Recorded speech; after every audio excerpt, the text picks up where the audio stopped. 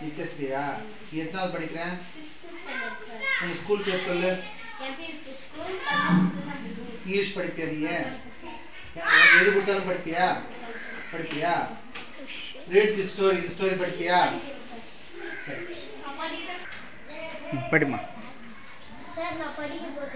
the necklace after a long search a similar necklace was 36,000 francs. But Matilda had 18,000 francs. Only she borrowed the rest. The necklace was bought and handed over to Jan.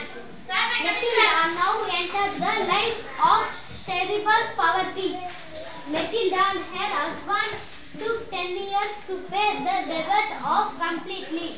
They did all the work by themselves. To pay the money, Matilda looked old now, but sometimes she thought of the